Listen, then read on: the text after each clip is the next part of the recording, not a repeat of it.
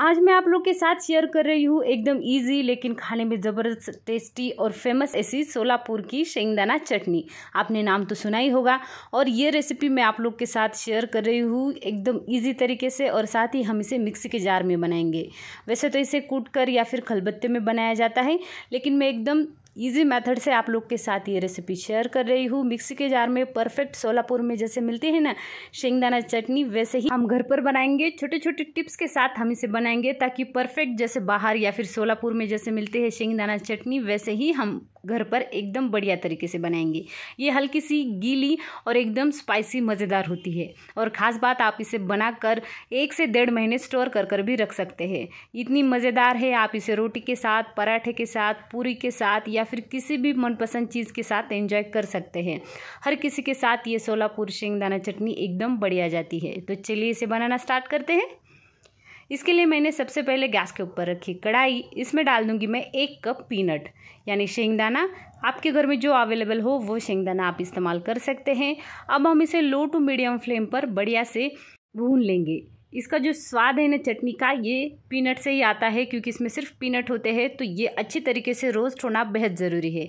इसलिए low flame पर हम इसे लगातार स्टर करते हुए एकदम बढ़िया तरीके से रोस्ट कर लेंगे। क्योंकि अंदर तक ये सीखने चाहिए ना, इसलिए लो टू मीडियम फ्लेम पर इस तरीके से स्टर करते हुए इसका हल्का सा कलर चेंज हो जाएगा मतलब ये परफेक्टली रोस्ट है। या फिर आप इसका एक पीनट देखकर ऐसे छिलका निकाल कर देखेंगे और ये इजीली रिमूव हो जाएगा, इसका मतलब ये परफेक्टली रोस्ट हुए हैं। गैस की फ्लेम को ऑफ़ कर देंगे और इसे एक किसी बर्तन में निकाल लेंगे, ताकि कढ़ाई गर्म है, ये नीचे से जले नहीं, इसलिए इसे एक किसी भी बर्तन में हम ट्रांसफ़र कर लेंगे। एकदम ईजी रेसिपी है, लेकिन इसका टेस्ट आप लोगों को बहुत पसंद आएगा। तो ट्राई ट्राई ज़रूर कीजिए।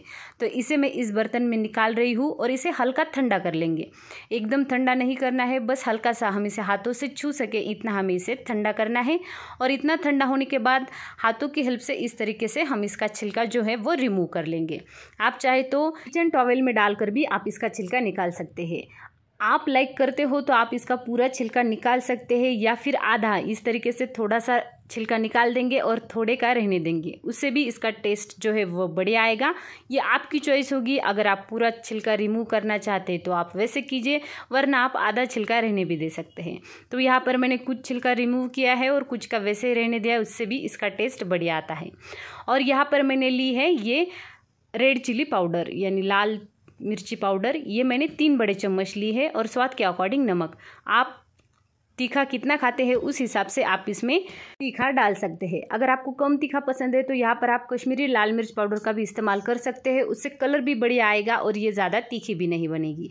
और अगर आप लाइक करते हो तो यहाँ पर आप एक चम्मच जीरा ज़रूर डालिए, उससे भी इसका टेस्ट बहुत बढ़िया आता है। तो यहाँ पर नमक और रेड चिली पाउडर डाल दिया है। अब हम इसे मिक्सी में चला लेंगे। बस मिक्सी में चलाते हुए हमें एक बात का ध्यान रखना है कि इसे हमें लगातार नहीं चलाना है, पल्स पर, यानी रुक रुक कर फिफ्टी ही हमें इसे चलाना है। ये देखिए, मैंने इस तरीके से इसे दो से तीन पल्स पर चलाया तो अभी आप देख सकते हैं, हर पीनट के दो दो टुकड़े हुए हैं, इतना ही हमने इसे चलाया है। अब इसमें डाल देंगे सबसे इंपॉर्टेंट चटनी में इसी से बढ़िया स्वाद आएगा, ये है लहसन। इसे गावरान लहसन कहा जाता है। ये इस तरीके का थोड़ा सा हल्का इसका जो छिलका होता है, वो पिंक होता है। इसीलिए ये जो गावरान लहसन है, इसका छिलका हमें रिमूव नहीं करना है। इससे इस चटनी में एकदम बढ़िया टेस्ट आता है। तो यहाँ पर लहसन की क्वांटिटी ज़्यादा लेनी है। तो यहाँ पर मैंने दो जो लहसन होते हैं, उसको ऊपर का, बस ऊपर का जो छिलका होता है, वो रिमूव किया और जो ऐसे ऐसे पंखुड़ी है, वो सभी वैसे ही बिना छिले इसके अंदर डाल दी है। तो ये आप कम ज़्यादा कर सकते हैं बट ये ज़्यादा होगा तो इसका टेस्ट जो है, वो बहुत ही बढ़िया आएगा। अब हम ढक्कन लगाकर सेम उसी तरीके से पर्ल्स पर रुक रुक कर इसे चला लेंगे। तो आप देख सकते हैं, मैंने इसे रुक रुक कर बीच में इस तरीके से चम्मच से चलाकर पल्स पर ये चटनी रेडी कर ली है। ये हल्की सी गीली है और इसकी खुशबू इतनी बढ़िया है, मेरा पूरा किचन महक रहा है। तो आप इसे ज़रूर एक बार ट्राई कीजिए, इसका टेस्ट इतना ज़बरदस्त होता है कि आप एक बार खाने के बाद इसका टेस्ट भूल नहीं पाएँगे। एकदम बढ़िया और हल्की सी ये गीली होती है। अगर आपकी चटनी किसी वजह से गीली नहीं हुई तो यहाँ पर आप दो चम्मच शेंगदाना तेल, जिसे पीनट ऑयल भी कहा जाता है, वो दो चम्मच डाल देंगे और फिर से एक बार मिक्सी में चला लेंगे तो हल्की सी ये चटनी जो है, वो गीली हो जाएगी। लेकिन जिस तरीके से हमने इसे बनाया है, इसमें और कुछ डालने की ज़रूरत नहीं, परफेक्ट जैसे सोलापुर में मिलती है, वैसे ही सोलापुरी शेंगदाना चटनी स्पाइसी, मज़ेदार, टेस्टी, घर पर बनकर रेडी हो जाएगी। आप इसे किसी एयर टाइट कंटेनर में रख कर एक से डेढ़ महीना आराम से इंजॉय कर सकते हैं।